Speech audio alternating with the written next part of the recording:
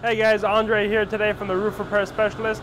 We're doing a training on site in our warehouse and I want to take this opportunity to look at and uh, create a tutorial on how to properly install a what we call a strainer drain. That's essentially just a cast iron drain that drains down. Um, this is on a flat roof demonstration and on flat roofs the drains tend to leak the most. So we have a video up for scupper drains and this is going to be our video for strainer drains. We're going to be taking a few extra measures Please keep in mind that we are based in Southern California, so we're building it to the specifications and the requirements in our area. If you live in a different area, just check it out, make sure that there's nothing extra that's required. Let's get into it. All right, so what we have here, we uh, have the demonstration built up already. Uh, we've got the strainer drain. Now this is, we just dropped in place. It's a little bit hot. It's a cast iron drain. We've already got our glass base installed. Uh, the glass base is nailed down. You can take a look at our video later on how to nail that down. But again, the glass base is just for fireproofing and not for waterproofing.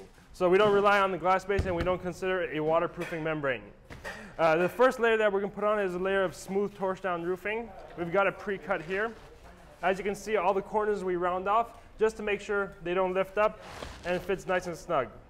So we're going to torch this down around the drain, then we're going to get to our next step. And Jose is going to be helping me out for this demonstration.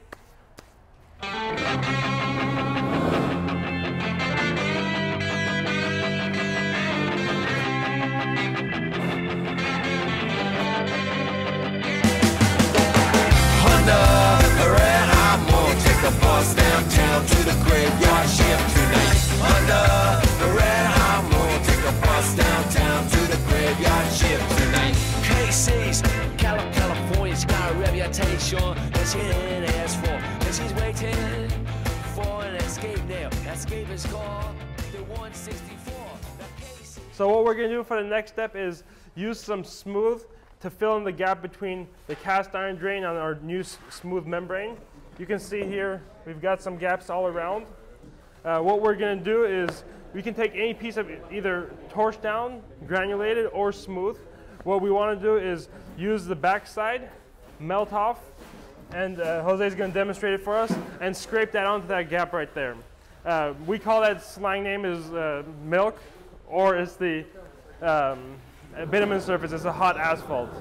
So what he's doing right now is he's heating it up, getting it molting hot.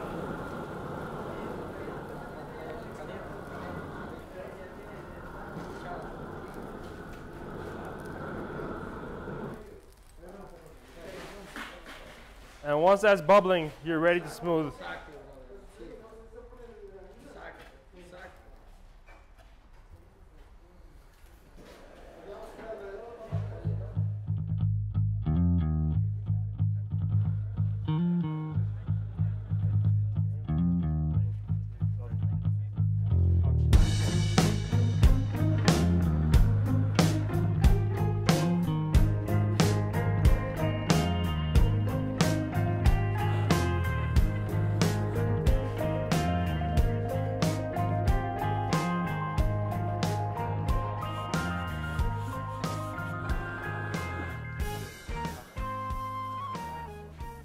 What Jose is doing now is he finished doing all four sides, we uh, sealing it with the molting tar.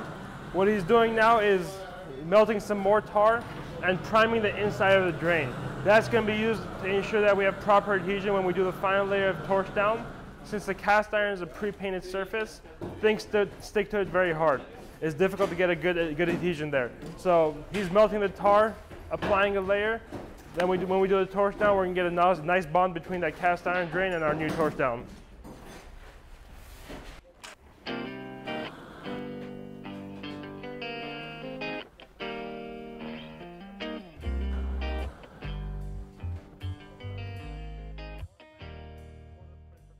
So we're ready for our final step. At this point, we already have our smooth membrane down.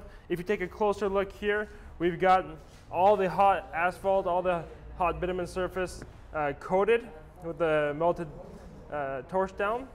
We've got all the corners sealed. And even this right here is going to be a waterproof drain. Of course, temporarily. Uh, this is not our final layer. We still have one layer to go on top. But since these drains are such um, a pain point on flat roofs, we want to make sure we take those extra steps to ensure that we have a second and third layer of waterproofing if our primary waterproofing membrane fails. So let's install the torch down. We already have this pre-cut. And of course, in, uh, just like any other time, we round off the corners to ensure uh, that the corners don't lift up.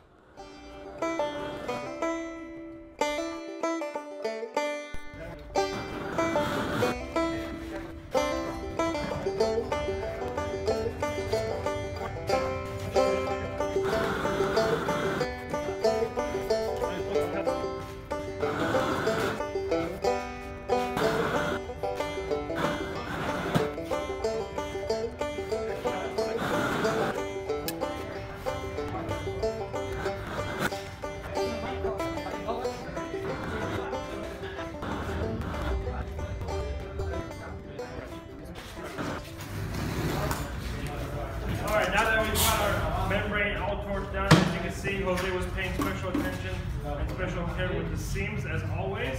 Uh, I'm gonna ask you if you can give me a hand. The final step is to cut out the drain opening. Maybe we get a closer shot of this. One, two, three, four. All right, so we're gonna identify the points and cut a diagonal.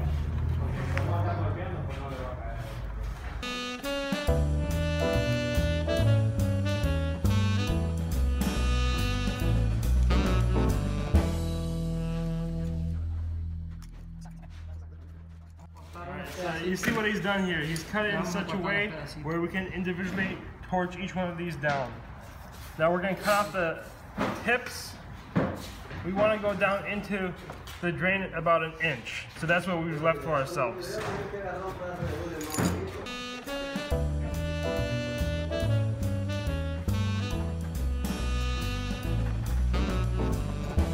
You can see we've cut it in such a way where right here, we already have a good tight seal. But what we want to do is we want to fold each of these ears down and with paying special attention and slowly adhere all of these down. So for this, we're going to use a small torch, kind of similar to what plumbers use.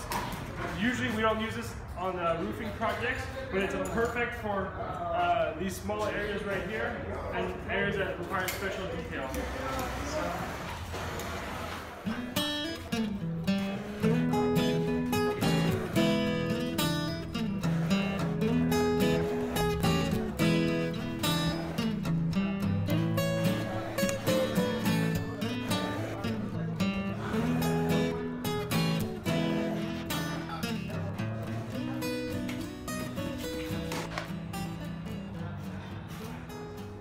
Now that we've got our torch down installed, it cut, and uh, individually the pieces welded on, what we're going to do is, uh, they can get a knife. What we want to do is, uh, this ring has three bolts that need to be installed. So we want to find these openings here, cut them out. So these need to be screwed down in order to be able to put our drain clamp on later. And we want to do this before we apply any sealant.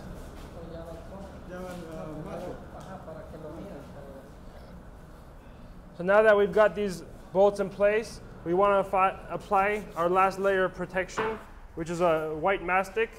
You can go ahead and apply. We like to use the APOC and apply it with a paintbrush. Um, three inch paintbrush works great. Uh, if it's going to be raining in the next few days, we always rec recommend using black mastic because the white mastic washes off a little bit earlier. But if you're roofing in the summer, white mastic works great and stays elastic for a lot longer.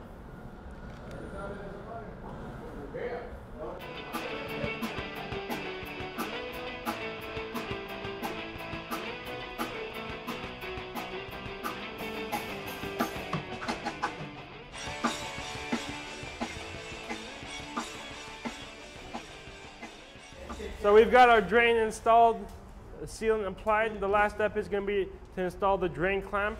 You can see these three bolts that are sticking up. Generally, they'll be down a little bit further. Um, so this drain clamp just sits on top. Usually, we wait for the sealant to dry, just uh, so in the future, whenever it's time to remove the drain clamp, it can be done.